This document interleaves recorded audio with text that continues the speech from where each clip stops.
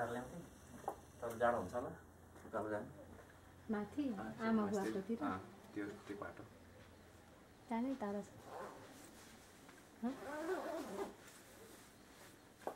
तर सरलाई देखेर चलाउनु भएको छैन।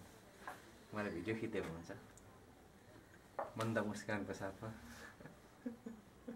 त्यो तिर्थ सरको चाहिँ खिचिदिनु न। याद हुन्छ। नि उफ, ल बोल्नु त के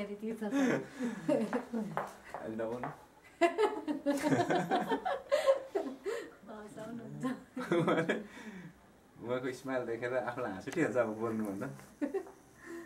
त्यो खिचेर क्या। होइन म त के कारणले हाँसेको थाहा छ सर? हजुर भन्नु सरको उड देखेर कि? ए यो यो